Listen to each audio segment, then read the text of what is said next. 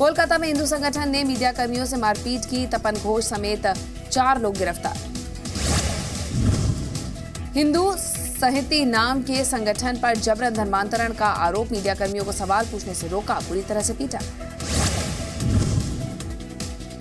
हिंदू संहति समहति के कार्यकर्ताओं ने मीडिया कर्मियों का कैमरा और माइक तोड़ डाला। जी मीडिया के रिपोर्टर अंजन रॉय भी घायल